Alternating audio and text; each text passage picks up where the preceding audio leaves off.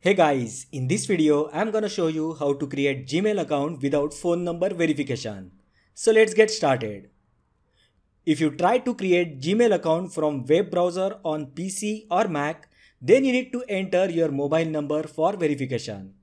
So we are going to use Gmail app to create a new Google account.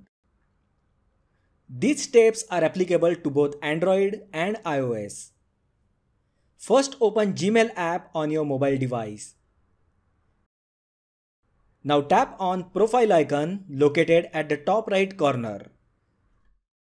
Here you will find all the Gmail accounts that you have configured on your mobile device. Now scroll all the way down and tap on add another account. Next page is setup email.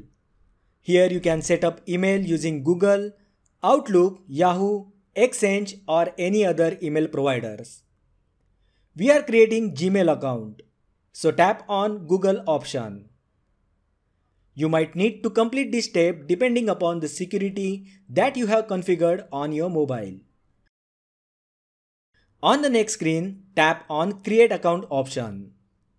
Here you will get two options for myself and to manage my business.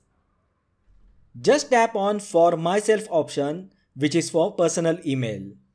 The other option is for business email account which we don't need for now. Next screen is create Google account. Here enter first name and last name. Now tap on next button. Now enter the date of birth and select gender. Once done, tap on next button. On the next screen, Google will suggest you two email IDs from which you can select one. If you need different one, then tap on create your own Gmail address option. Enter the email address of your choice. If the email address that you have entered is available, then tap on next button or change the email address. On the next screen, set the password for your Google account and tap on next button. Next screen is add phone number. Now this is the important step. Scroll down and tap on skip button. Do not tap on yes I am in else you need to enter the phone number which we don't want to add.